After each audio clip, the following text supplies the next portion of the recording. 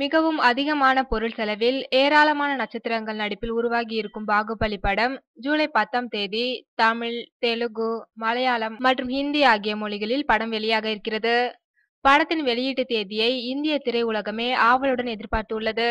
இந்நிலையில் சமீபத்தில் கொச்சியில் மலையாள பாகுபலி படத்தின் பாடல்களை படத்தின் நட்சத்திரங்களான பிரபாஸ் அனுஷ்கா தமன்னா ராஜமௌலி மற்றும் ராணா போன்றோர் கலந்து கொண்டு வெளியிட்டனர்.